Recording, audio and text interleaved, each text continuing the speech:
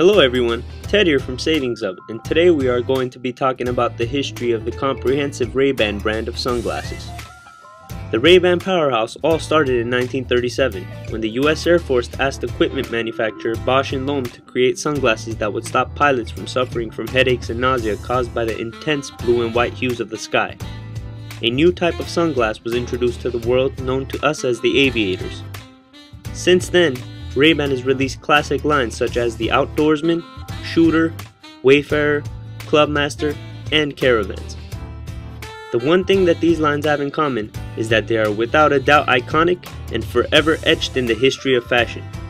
Thanks for your time and please be sure to visit savingshub.com to view this and many more Ray-Ban sunglasses on sale at discount pricing.